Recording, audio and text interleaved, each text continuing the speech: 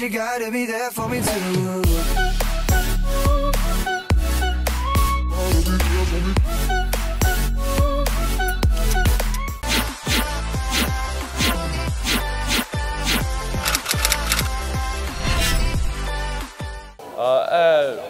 အဲဒီဇကားအတွက်လည်းပါတာပေါ့နော်တက်တက်အပြင်မှာလည်းပဲကျွန်တော်ဒီလူတွေကအပြင်မှာလည်းတွေ့ပြီးစော့နေတဲ့လူတွေပေါ့နော်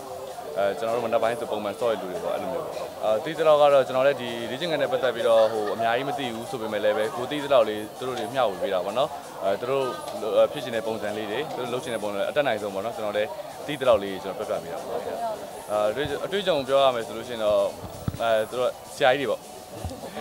ကျွန်တော်ဆရာအကုန်လုံးကဟို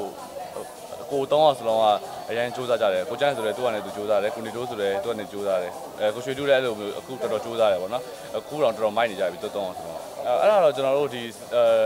အရင်တော့မဟုတ်ဘူးနော်ဇကားနဲ့လိုက်ဖက်ညီတဲ့ပုံစံမျိုးဖြစ်တော်ပြီပေါ့ဟောအဲ့လိုလိုမရှိပါဘူးအစာပိုင်းမှာတော့ဟိုဘယ်လိုပြောမလဲသူတို့မှမဟုတ်ပါဘူးဘယ်သူမှဆိုကျွန်တော်တို့ဟိုဟာမလုံနိုင်တာလေးတော့ရှိရဲနောက်ပိုင်းမှာတပြေးပြေးနဲ့လုံလာနိုင်တယ်အခုတော့တော်တော်ကောင်းနေပါပြီလူမြင်တွေ့ပါတယ်သူတို့တော်တော်တောင်းအောင်စလုံးမိုက်နေကျွန်တော်တို့နောက်ပိုင်း နောက်ပိုင်းကကျွန်တော်တို့ကြော်အောင်လားမသိဘူးဆိုတော့ကျွတ်တော့ဘိုးဒူးတွေတက်လာမယ်ဟုတ်တယ်တော်တော်တော်ကြော်ကြော်သွားမလားမသိဘူးအကုန်လုံးအကုန်လုံးမိုက်နေ heavy တွေဖြုတ်နေကြအဲလုတ်ပေးထားပြီလားဆိုတော့